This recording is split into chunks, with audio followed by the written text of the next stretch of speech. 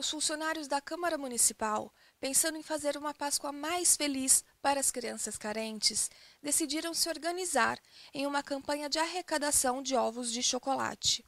Ana Raquel foi a primeira a contribuir e fala sobre a importância desse tipo de iniciativa para as crianças.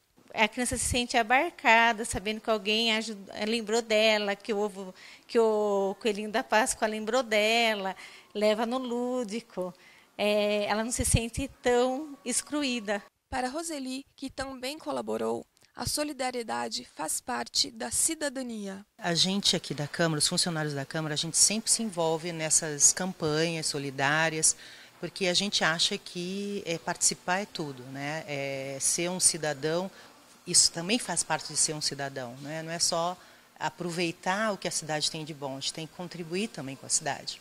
Érica conta que costuma contribuir com entidades locais, mas que a mobilização organizada é importante para despertar nas pessoas o espírito da solidariedade. Quando você é chamado a, a colaborar, sensibiliza. Se tivesse que, que, partir da gente, talvez eh, haveria pouca contribuição, né? mas quando existe uma provocação, aí, aí as pessoas colaboram mais. Duas entidades de Jundiaí serão beneficiadas: a Casa Transitória Nossa Senhora Aparecida e a Pastoral de Atendimento e Integração do Menor.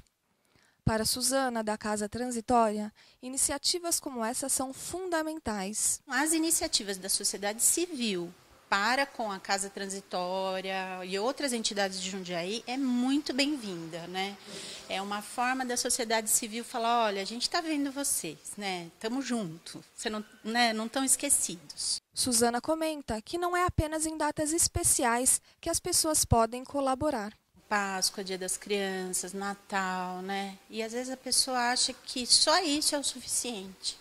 Não, gente, é o ano todo. A gente precisa, né, de leite de alimentos, a gente precisa de produtos de higiene pessoal, de limpeza, a gente precisa de tudo.